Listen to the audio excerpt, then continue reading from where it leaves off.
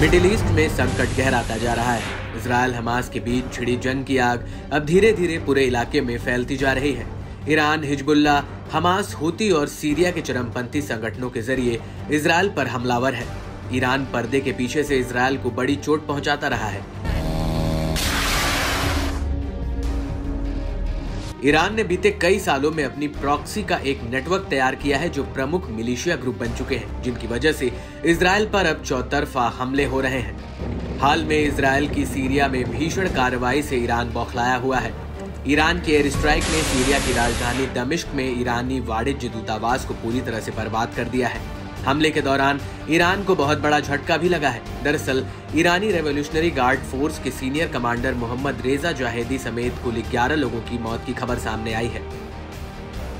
हमले के बाद से ईरान का शीर्ष नेतृत्व तिलमिलाया हुआ है। इतना ही नहीं, ईरान ने तो इसराइल को नतीजे भुगतने तक की चेतावनी भी दे दी है। अब ईरान ने इसराइल को इस हमले का बदला लेने की कसम खाई है। यही वजह है कि इराकी प्रतिरोध बल गाजा पट्टी में फिलिस्तीनियों के समर्थन में एक प्रमुख इजरायली एयरबेस पर कहर बनकर टूटा है। साथ ही कब्जे वाले इलाके के मध्य भाग में अशदोद शहर को निशाना बनाया है। इराक में इस्लामी प्रतिरोध के लड़ाकों ने बुधवार को हमले करने की घोषणा की। इराक में इस्लामिक प्रतिरोध ने ड्रोन के ज़रिए कब्जे वाले हाइफा में एयरपोर्ट रामट डेविड को निशाना बनाया। बताया जाता है कि इसराइल की सबसे उत्तरी चौकी है, जहाँ युद्धक विमान और गनशिप का भंडार है। प्रतिरोधियों ने ज़ोर देते हुए कहा कि हमला गाजा में लोगों के समर्थन में और बच्चों, महिलाओं और बुज़ुर्गों समेत फिलिस्तीनी नागरिकों के खिलाफ कब्जा करने वाली इकाई की ओर से किए गए नरसंहारों के जवाब में हुआ था। दुश्मन के गढ़ को खत्म करना इसी तरह जारी रखा जाएगा।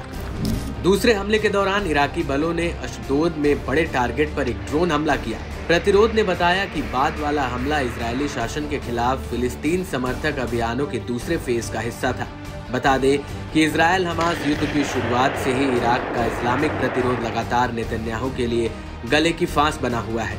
इसराइल का आरोप है कि ईरान गुपचुप तरीके से इसराइल के खिलाफ प्रॉक्सी वॉर कर अपना हित साध रहा है। हालाँकि नेतन्याहू ने साफ़ किया कि इसराइल ऐसे हमलों से डरेगा नहीं, बल्कि भीषण पलटवार करेगा। ऐसे में हालिया हमले से अरब जगत में तनाव और बढ़ने की आशंका जताई गई है।